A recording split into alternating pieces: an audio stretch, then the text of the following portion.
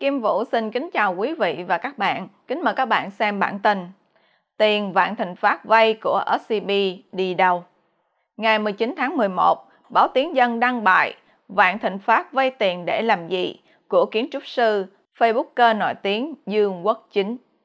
Tác giả cho biết, mấy hôm nay, theo dõi vụ Vạn Thịnh Phát, tác giả cố tìm hiểu xem dòng tiền mà hệ sinh thái Vạn Thịnh Phát rút từ ngân hàng SCB dùng để làm gì. Nhưng đến giờ thì thấy rằng họ dùng để phát triển bất động sản là không nhiều. Phát triển bất động sản tức là làm giống như Vinhome hay Novaland, tức là đầu tư xây dựng nguyên khu đô thị lớn hàng trăm đến vài trăm hecta đất rồi bán lấy lãi. Tác giả nhận xét, còn kiểu của Vạn Thịnh Phát thì cũng có phát triển bất động sản như vậy, nhưng quy mô khá nhỏ, chỉ vài chục hecta. Dự án lớn nhất là mũi đèn đỏ ở quận 7 thì lại chưa được phê duyệt, tức là chưa có chi phí gì nhiều. Dường như Vạn Thịnh Phát chủ yếu mua lại các bất động sản trung tâm, điển hình như tòa The One hay các tòa nhà ở đường Nguyễn Huệ, quận Nhất. Và đây là hình bài trên báo Tiếng Dân. Tác giả đánh giá, loại bất động sản này có đặc điểm là giá trị rất lớn và số lượng hạn chế. Nhiều khi có tiền cũng không mua được, nhưng chênh lệch giá khi mua bán là không nhiều, giá cả ổn định. Đây không phải là cách mà dân đầu tư bất động sản yêu thích vì biên lợi nhuận thấp. Kiểu này chủ yếu là để găm tiền và rửa tiền. Doanh thu chủ yếu là tiền cho thuê bất động sản, là thu tiền lẻ. Các nhà đầu tư bất động sản lớn cũng không chú trọng cách này lắm vì thu tiền chậm. Tác giả nêu vấn đề, nếu Vạn Thịnh Phát vay tiền ngân hàng để mua bất động sản trung tâm chỉ để thu tiền cho thuê, thì sẽ lỗ lớn vì lãi suất ngân hàng. Kiểu này chỉ hợp với việc cất tiền nhàn rỗi thay vì gửi ngân hàng thôi. Tại sao Vạn Thịnh Phát lại làm như vậy? Tác giả dẫn kết luận điều tra của C03 thì có thấy tin là tội liên quan tới trái phiếu và rửa tiền được tách thành vụ án khác. Nên khả năng lớn có việc rửa tiền trong vụ này. Tác giả dự đoán là các công ty con, công ty ma của Vạn Thịnh Phát sẽ vay tiền ở CB để mua các bất động sản trung tâm, rồi tiền bẩn từ Hồng Kông cũng được nhào trộn vào dòng tiền trả lãi ngân hàng. Lưu ý là Vạn Thịnh Phát vay tiền ở CB nhưng rút tiền mặt để cắt đứt dấu vết dòng tiền rất phù hợp với rửa tiền. Và đây là hình bà Trương Mỹ Lan, chủ tịch tập đoàn Vạn Thịnh Phát. Được biết, bà Trương Mỹ Lan dù không giữ chức vụ gì tại ngân hàng SCB nhưng lại là người có quyền lực tuyệt đối, chi phối toàn bộ nhà băng này. Bà Lan thông qua SCB huy động tiền gửi của người dân rồi cho hệ sinh thái vạn thịnh phát vay, sau đó chiếm đoạt số tiền đặc biệt lớn lên đến hơn 304.000 tỷ đồng. Tác giả cho rằng việc rửa tiền cho mafia Hồng Kông, Tam Hoàng cũng là việc hết sức nhạy cảm do liên quan tới Trung Quốc. Nguồn tiền này thậm chí có thể còn là quỹ đen để thao túng chính trị ở Việt Nam. Vì tiền ABC kia kiểu gì chả là tiền bẩn, dấu hiệu của Tam Hoàng thì đã dự đoán được sau khi các đàn em của bà Lan tự tử hàng loạt ngay sau khi bà bị bắt. Hơn nữa, bà Lan có thể nhờ tới 74 người đứng tên cổ phần SCB trị giá hàng ngàn tỷ thì phải có một tổ chức ngầm với luật ngầm như Tam Hoàng mới có thể kiểm soát để họ không bị lộ. Tác giả nhận định, chính vì sự nhạy cảm này nên án rửa tiền có lẽ sẽ do cơ quan an ninh điều tra làm chứ không phải cảnh sát điều tra nữa. Thậm chí có thể đàm phán với bên kia mới đánh được, vì cũng có đồn đoán gia tộc này liên quan tới Chu Vĩnh Khang. Tác giả cho biết thêm, sau khi vợ chồng bà Lan bị bắt, thì bất động sản của họ bên Hồng Kông cũng được bán tháo. Nên việc họ có mối quan hệ rửa tiền với Hồng Kông tuy là thuyết âm mưu nhưng không phải không có căn cứ. Quý vị và các bạn đang xem chương trình trực tiếp của Kim Vũ với bản tin Tiền Vạn Thịnh Phát vay của SCB đi đâu? Xin mời quý vị và các bạn chia sẻ video này cho nhiều người biết và bấm nút theo dõi trên YouTube và Facebook của Thời báo chấm D để luôn được cập nhật bản tin mới nhất, nhanh nhất và trung thực nhất. Kim Vũ xin kính chào các bạn và hẹn gặp lại các bạn trong chương trình lần tới.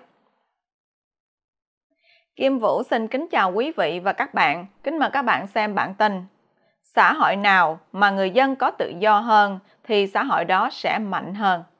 Ngày 17 tháng 11, AFA Tiếng Việt có bài phỏng vấn cựu dân biểu Hoa Kỳ Cao Quang Ánh với tựa đề Nếu Việt Nam cho dân tự do hơn, quốc gia chỉ có thể mạnh hơn. Bài phỏng vấn trong bối cảnh Việt Nam có nhiều hành vi vi phạm nhân quyền ngay sau khi nâng cấp quan hệ ngoại giao với Mỹ lên mức cao nhất. Nhiều ý kiến cho rằng hồ sơ nhân quyền của Việt Nam có thể phá vỡ quan hệ hai nước trong tương lai không xa. Việt Nam vừa bắt giữ ông Lưu Bình Nhưỡng ngay lúc chuyến thăm Việt Nam của báo cáo viên đặc biệt của Liên Hiệp Quốc Sayadiva còn chưa kết thúc. Trước đó, Việt Nam đã bắt nhà hoạt động môi trường Hoàng Thị Minh Hồng và chuyên gia môi trường Ngô Thị Tố Nhiên chỉ ít ngày sau chuyến thăm của Tổng thống Mỹ Joe Biden. Ông Cao Quang Ánh cho rằng, qua kinh nghiệm của ông, nước Mỹ ít khi cho nước nào một quyền lợi gì đó mà không đòi hỏi ngược lại. Nước Mỹ luôn đòi hỏi mình cũng có lợi trong cuộc bàn giao đó. Theo ông Ánh, lời tuyên bố thường khác với việc hai bên thực sự làm khi họ ngồi xuống để bắt đầu bàn luận, trao đổi ý kiến về những gì hai bên sẽ làm. Và đây là hình bài phỏng vấn trên AFA. Khi hai quốc gia đã ngồi xuống với nhau rồi thì chắc chắn Mỹ sẽ đòi hỏi Việt Nam phải làm một cái gì đó để hưởng lợi ích từ nước Mỹ. Nếu chúng ta nghĩ Mỹ chỉ cho mà không đòi hỏi ngược lại thì điều đó không có trong kinh nghiệm làm việc của ông Ánh. Theo ông Cao Quang Ánh, lúc hai bên đã ngồi xuống làm việc với nhau, phía Mỹ sẽ phải bàn luận mọi vấn đề quan trọng với nước Mỹ, hiến pháp Mỹ, người dân Mỹ, các cơ quan thương mại của Mỹ. Ông Ánh thấy rằng nước Mỹ thường đòi hỏi nhiều hơn là cho vì nước Mỹ là nước lớn trên thế giới. Khi chúng ta nói trong ban giao việc Mỹ, nước nào cần cho nước nào hơn, theo hiểu biết của ông Ánh thì Việt Nam cần Mỹ hơn là Mỹ cần Việt Nam. Mỹ hiện tại cũng đang lo về sự bành trướng của Trung Quốc, nhưng nói chung, Việt Nam lo lắng trước Trung Quốc hơn là Mỹ. Vì Việt Nam nằm cạnh Trung Quốc và giả sử xảy ra chiến tranh giữa Việt Nam và Trung Quốc thì Việt Nam không thể chống lại Trung Quốc nếu không có sự giúp đỡ của Mỹ. Ông Ánh nhận xét, nếu hiến pháp, luật lệ của Việt Nam thay đổi để trở nên tự do, dân chủ hơn thì chắc chắn làm cho nước mạnh lên. So sánh hai nước Bắc Hàn và Nam Hàn, một bên độc tài, một bên dân chủ, thì chúng ta biết nước nào mạnh hơn. Và đây là hình cựu dân biểu Hoa Kỳ Cao Quang Ảnh. Xã hội nào mà người dân có quyền tự do, dân chủ, tự do tư duy, tự do thương mại, thì xã hội đó sẽ mạnh hơn. Ông Ánh nhận định, nếu nói đảng sẽ mạnh hơn, nếu họ cho dân quyền dân chủ tự do thì không đúng, mà chắc chắn nếu họ cho dân quyền tự do dân chủ thì quyền lực, quyền lợi của đảng Cộng sản sẽ yếu đi, cho nên họ sẽ đẩy ngược lại hướng đi đó. Nói chung, lý do họ sợ dân có quyền lên tiếng vì họ muốn che đậy điều gì đó đằng sau. Ví dụ, có thể họ không muốn lộ ra các vấn đề của mình như hối lộ, tham nhũng. Nếu xã hội Việt Nam có tự do hơn thì chắc chắn xã hội Việt Nam sẽ mạnh hơn, nhưng đảng sẽ suy giảm quyền lợi, quyền lực của họ. Về ý kiến cho rằng nếu đa đảng sẽ bị nước lớn can thiệp và sâu xé, ông Ánh nghĩ quan niệm đó là sai. Trên thế giới có nhiều nước có hệ thống nhiều đảng, thậm chí có hàng chục đảng, nhưng có nước nào bị ngoại quốc can thiệp sâu xé hay không? Ông Ánh nghĩ nếu Việt Nam có nhiều đảng và có một hệ thống luật pháp ngăn chặn sự can thiệp của nước ngoài thì quốc gia chỉ mạnh hơn. Chỉ khi người dân có tự do thì mới có thể tạo ra một xã hội vững mạnh trong quá trình vận hành quốc gia. Nếu như người dân vào hoàn cảnh phải đóng góp cho quốc gia dưới sức ép, không có sự hợp tác và đóng góp của dân một cách tự do thì sẽ không thể thành công. Nếu Việt Nam không chỉ mở rộng cửa cho kinh tế, thương mại mà còn mở rộng cho dân về tự do trong tư duy thì xã hội chúng ta chắc chắn sẽ mạnh hơn. Quý vị và các bạn đang xem chương trình trực tiếp của Kim Vũ với bản tin Xã hội nào mà người dân có tự do hơn thì xã hội đó sẽ mạnh hơn.